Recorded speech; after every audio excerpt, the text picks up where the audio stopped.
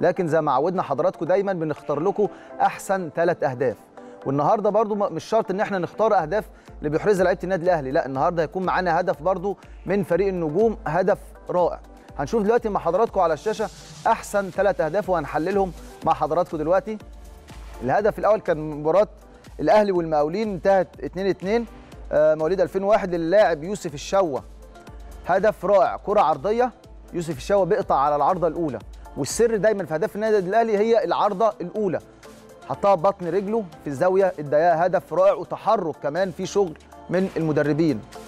هدف رائع للاعب يوسف شاو يوسف شاو من اللع- اللعيبة الممتازة نشوفها إن شاء الله في وقت من الأوقات مع الفريق الأول. الهدف الثاني لمصطفى عزت مباراة الأهلي والنجوم اللي انتهت بفوز النادي الأهلي 2-1 مصطفى عزت برضو من اللعيبة اللي تم تصعيدها خلال الفترة اللي فاتت للفريق الأول.